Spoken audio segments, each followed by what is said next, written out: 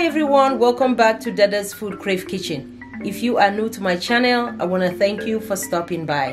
Please don't forget to hit the subscribe button and hit the notification bell because you'll be the first to be notified whenever I upload a video. In this video, I'll be making some okra soup Gambian style. Some will say super kanja. In some parts in Louisiana, they will say gumbo. You can make okra soup with fish. You can make it with meat. You could mix fish and meat together. You can make okra soup white. You can make it with the palm oil without the palm oil. So if you guys are interested in seeing how I make this okra soup slash super kanja slash gumbo, without any further ado, let's get cooking. All right, everyone, let's get started. I have my okra all cut up. I have few of them and I have some that I didn't cut up yet. I want to show you guys how I cut my okra. I'm going to use some salt, kosher salt. And I'm going to use two large onions and two habanero peppers. I am also going to be using some shrimp Maggi with some Maggi cubes. In my okra soup, I'm going to add some shrimp. I have my smoked catfish here all nicely washed. And I also have some whitening, smoke whitening that I bought in, a, in my local grocery store. And I also have some beef tripe. I believe they call it shaki. Here I have some few couple of um, cow foot and some goat meat.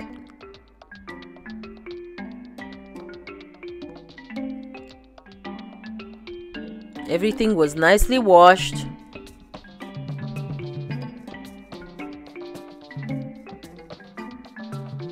So what I'm gonna do here, I'm just gonna blend my onions.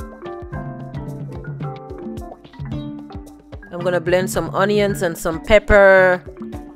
This will get me ready to cook my cow food and my goat meat.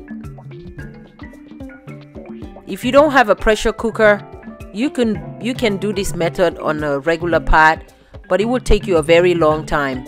Like I always say, pressure cooker, if you have a pressure cooker and you're cooking any type of meat, it will definitely cut your cooking time in half. Instead of um, boiling the meat and the cow food in a regular pot, it's gonna really take a while. So I always do my meats like that. I will definitely put it in a pressure cooker and cook it so that will be faster. So I have my habanero pepper in there and my Maggi cubes, my shrimp Maggi cubes I'm gonna add some salt at this point this is basic this is just to kind of like season up my my my beef and my cow foot while it's boiling and then I'm gonna add some water into the blender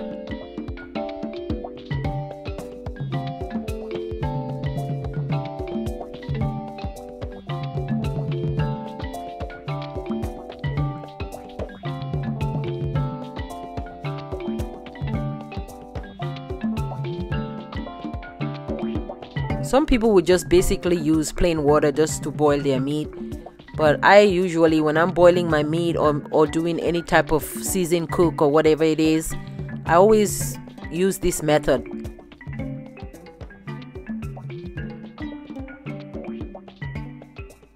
So I'm gonna pour in my blended onions and my habanero pepper into the meat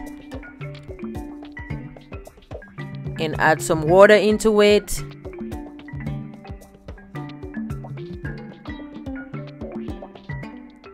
This so will give the meat, like I said, some flavor. I'm gonna add my shaki, which is my beef tripe. And then I'm gonna turn on my um, pressure cooker and let it cook.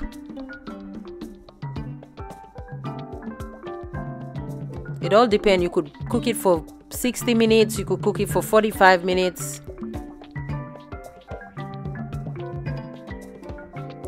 So as you can see I already have some okra cut up already.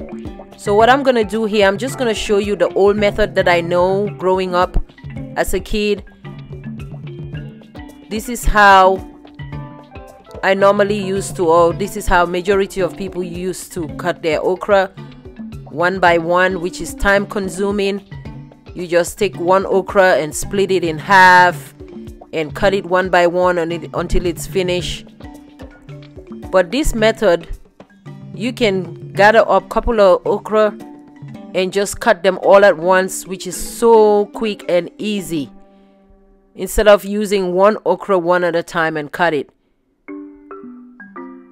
As you can see I have like six okra all joined together as I'm cutting it on the chopping board.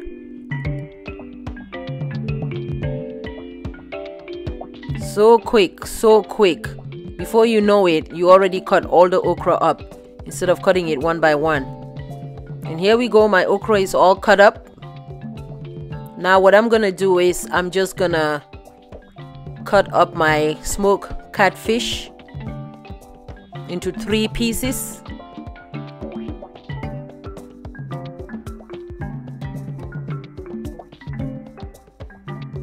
And you want to make sure you wash your smoked catfish really good when you buy it. Wash it with salt and water take all because you never know maybe there's some sand in it you just never know. But you want to make sure you wash them really good. So what I'm gonna do here I'm gonna peel out the skin of my smoke whitening fish that I bought on from my local store grocery store I believe it seems like when they smoked it they smoked it with the skin on it and and the scale. Because when I look it looks like the scale is still attached to the skin. And I don't want that in my soup. As you can see right there. If they would have probably cleaned the scale out I wouldn't mind adding the skin into my soup. But if it if they leave this the scale into the fish on the fish I don't want it in my soup. So I'm just gonna peel the skin off like so you can find this in your local grocery store. It depends where where you go or the location that you live in. They always have them. All nicely smoked already. I'm gonna be coming up with um, how to smoke your own fish too. I'll come up with that video if you guys want to know how to smoke your own fish at home so that you won't have to buy it smoked as you can see I cut up my cat smoked catfish and my whitening smoked whitening fish so I have a little bit of trouble here with my pressure cooker. I'm missing a piece or something happened. I don't know really what happened. And this pressure cooker is pretty new.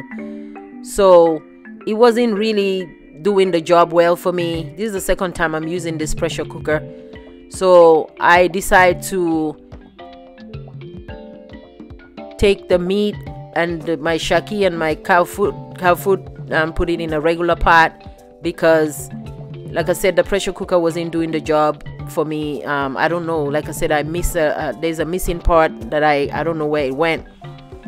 So I took some of the I took the meat and now I'm gonna put it in a pot and continue boiling it from there.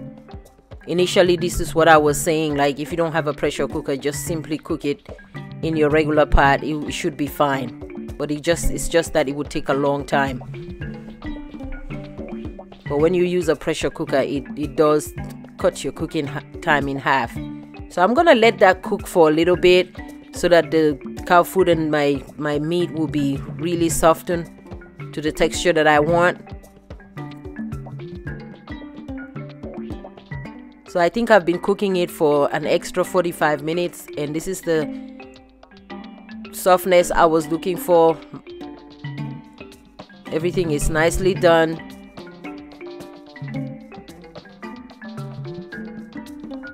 So what I'm gonna do here, I'm gonna put one cup of palm oil. This palm oil is so fresh, it's so pretty.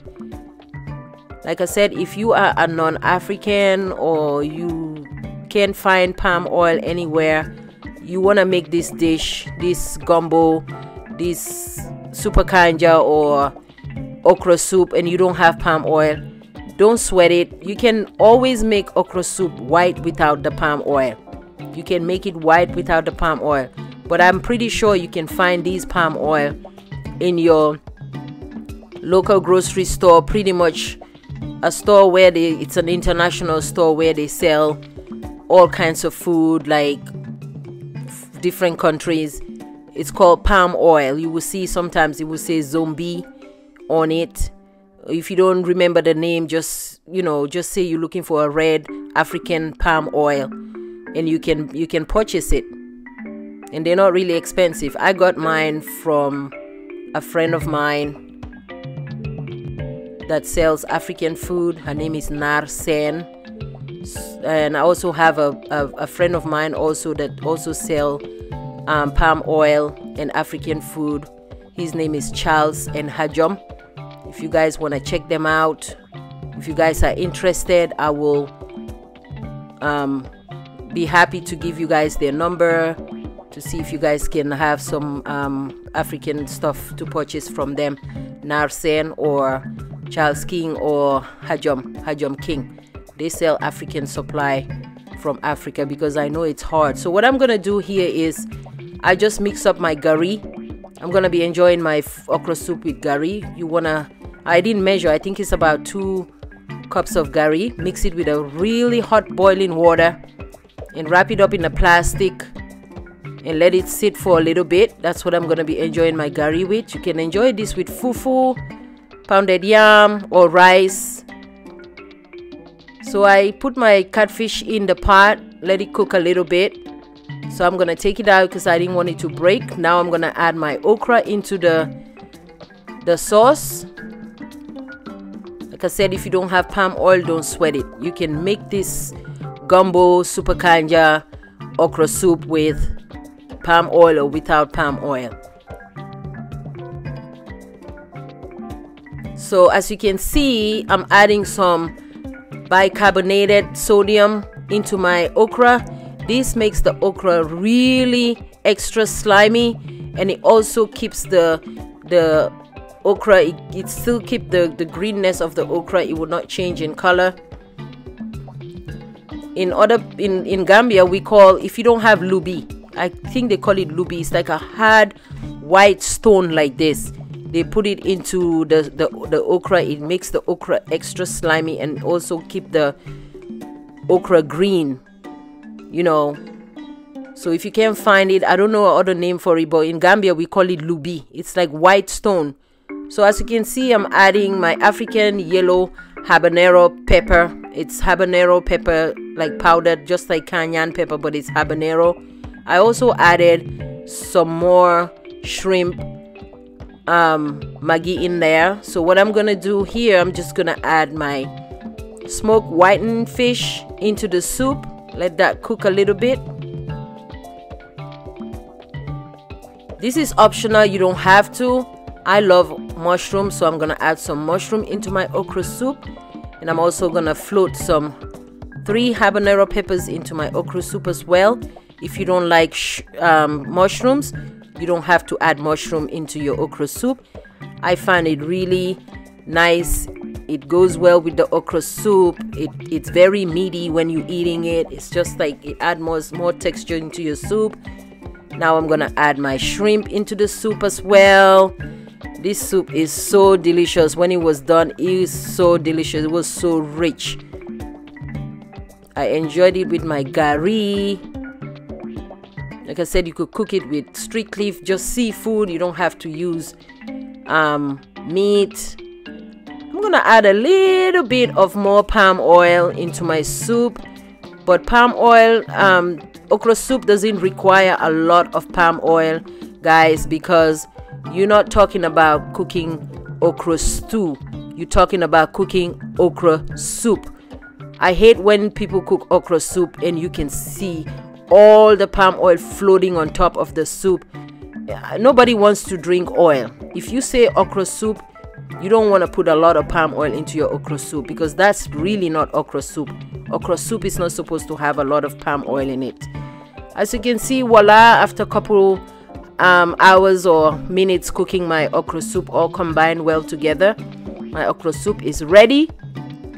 And like I said, this okra soup, I'm to be enjoying it with my gari you can enjoy it with fufu pounded yam you can enjoy it with white rice you know whatever rocks your boat. But today i'm gonna be enjoying my okra soup with some gari.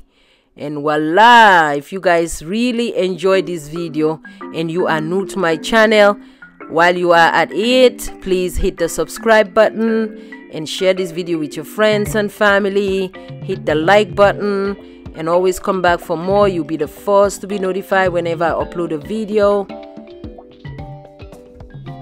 you can see my super kanja my okra soup slash gumbo is ready. It's so simple. It's not it's not science at all. It's so simple to make. Everything requires boiling. There's no frying. There's no nothing because it's soup. As you can see my gari is ready which I mix with my warm hot water and wrap it in a plastic bag. You can also find this gari in the same local international store that sells African stuff Jamaican stuff whatever it is shops that sell different um, varieties of um, different country food. Gari is pretty much made out of yuca, scraped into a powder-like thing, and and um, that's what gari is. So like I said, if you guys enjoyed this video, give it a thumbs up, leave your comment down below. I'll be coming up with more delicious recipe for you guys. I hope you guys enjoy this super kanja gumbo slash okra soup and I will see you guys in my next video. Enjoy! Look how delicious, guys. Look how delicious. It is so yummy, guys. Thank you so much for watching. I appreciate everyone for the support. Thank you so much. Tata. Bye. See ya.